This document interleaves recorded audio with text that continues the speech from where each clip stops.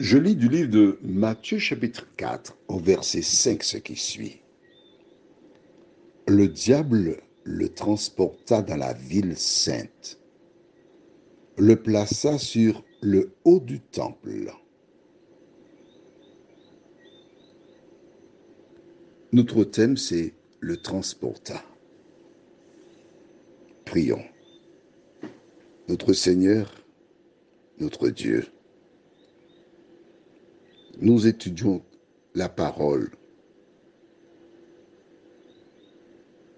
Mais ce matin, ce verset est particulier. Alors nous te réclamons plus que jamais ton esprit afin d'éclairer tes enfants. Car en écrivant, l'auteur parfois ne donne pas tous les détails pour la compréhension. Mais nous te bénissons parce que ton esprit est là pour nous diriger dans la connaissance de ta parole. Merci Seigneur. Au nom de Jésus et pour ta gloire éternelle. Amen. Le transporteur. D'accord. Aux Antilles, lorsque nous voulons nous rendre en, dans l'Hexagone, ou encore en France métropolitaine, nous devons choisir un transporteur. Il y en a plusieurs. Je ne ferai pas de la publicité pour l'un ni pour l'autre. Mais nous devons nous embarquer dans un avion ou partir en bateau de croisière. Ceux qui n'aiment pas l'avion ni le bateau, restent aux Antilles. Aussi simple que cela.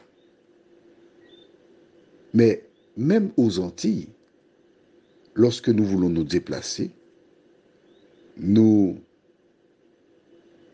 utilisons soit notre véhicule, et celles et ceux qui n'en ont pas empruntent les moyens de locomotion connus des différents transports publics. Mais nous avons toujours un transporteur. Ce verset déclare Le diable le transporta.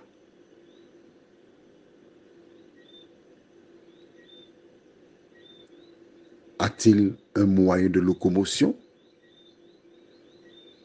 Non. A-t-il un taxi, un véhicule personnel, un avion ou un bateau? Non, mais il pourrait. Est-ce que Jésus s'embarquerait dans un véhicule avec Satan? Non.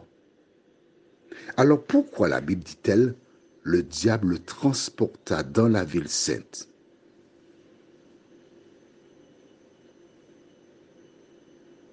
Pourquoi? Le transporta ici est une indication. D'accord, je vais te transporter maintenant à Montréal, à l'oratoire Saint-Joseph. Montréal, c'est une île et il y a une petite colline où se trouve l'oratoire Saint-Joseph. Une église magnifique où se trouvent des béquilles et autres, qu'un homme qui s'appelle Frère André a fait des miracles. Et beaucoup de personnes ont été guéries à l'oratoire Saint-Joseph. Il y a un chemin de croix à l'extérieur. Et de là, on peut découvrir une bonne partie de Montréal. Là, je vais de te transporter à Montréal. C'est ici par la parole qu'il dit à Jésus du haut de la colline, regarde. Mais il ne l'a pas emmené nulle part, parce que Jésus ne saurait suivre le diable. Prions. Notre Seigneur, notre Dieu, C'est seulement lorsque nous prenons le temps pour lire ta parole que nous la comprenons. Lorsque nous venons avec un cœur sincère à la source de la vie, il éclaire, ouvre l'intelligence et permet d'avancer. Merci pour ta parole, Seigneur. Merci de continuer de nous fortifier. Merci chaque jour de nous conduire dans la connaissance de la vérité, nous t'en prions. Au nom de Jésus et pour ta gloire éternelle. Amen. Je te souhaite une bonne journée.